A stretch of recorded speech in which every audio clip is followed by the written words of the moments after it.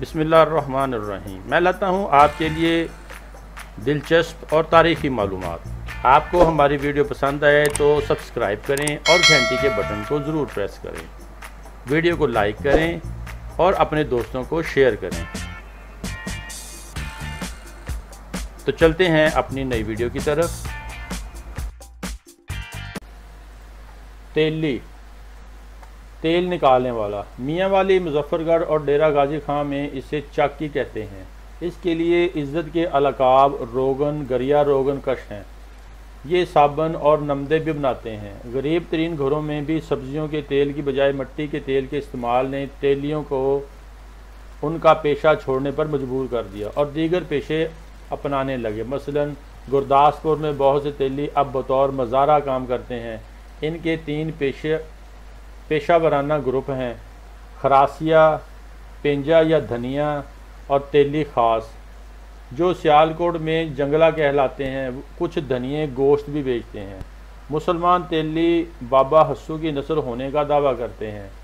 जिसने कोहलू ईजाद किया और उसके मकबरे लाहौर में चौक झंडा और सियालकोट में है।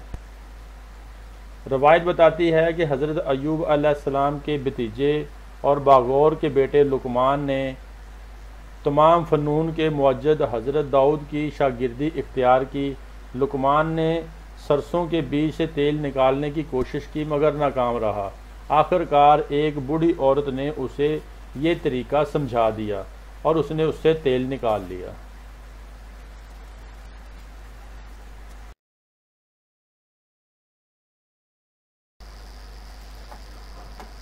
तहीम। जट शुमार किया गया एक कबीला है। तहीम अरबी माखज और तहीम नामी एक अंसारी कुरैशी की नस्ल होने के दावेदार हैं। झंग के तहसील चन्योट में पहले इनकी काफ़ी इमलाक थी और वो फरमा रवा या दहली के तहत इन इलाकों पर तहीम सूबादार यानी गवर्नर थे। ऐवानों का एक तहीम कबीला बताया जाता है। तहीम मुकम्मल तौर पर ज़राती नहीं, वो कहते हैं वो अक्सर कसाबों और कतान कोबी का काम करते हैं। ये हो सकता है कि इनकी वजह महज ये हो कि कसाब और कतान कोबों का भी एक तहीम कबील जिसकी वजह तस्मिया ये कबीला है। जहाँ तक हमारे अदाद शुमार दिखाते हैं तो वो एक तरह से बहावलपुर और जीनी सिंध, चनाब पर मुल्तान में मुजफ्फरगढ़, डेरा गाजी खां तक ही महदूद हैं। मुल्तान के तहीम का कहना है कि उनका करीब तरीन मुर्रस आला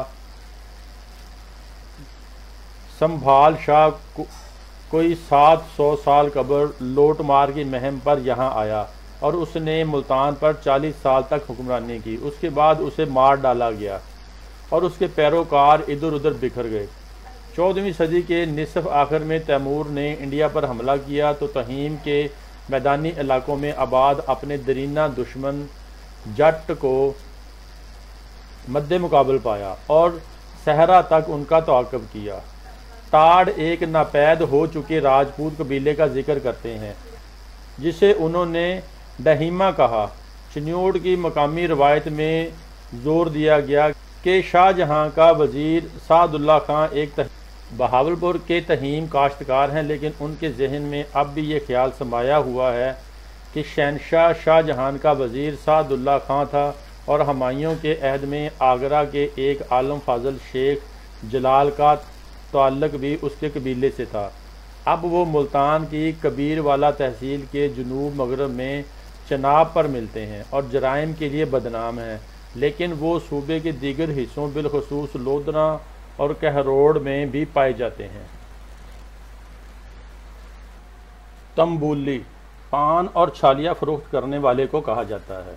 लेकिन ये नहीं कहा जा सकता कि इन अशिया की फ़रोख्त सिर्फ़ इसी ज़ात के अफराद करते हैं।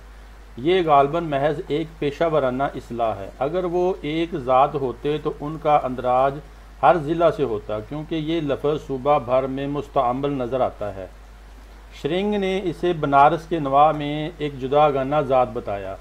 सन संस्कृत में पान के पत्ते को तंबूली कहा जाता है। तरगर जट रुतबे का एक कबीला जो दरियाए चनाब पर मुल्तान और मुजफ्फरगढ़ में चंद देहात का मालिक है उनका कहना है कि वो भट्टी राजपूत थे और उनका नाम बैकानेर में असल वतन तरगर की नस्बत से है वो हिजरत करके पहले झंग आए और फिर तकरीबन 160 बरस कबल सियालों से झगड़े के बाद दरियाए चनाब के किनारों पर जा बसे वो अपने आप को भट्टी भी कहते हैं Thank you.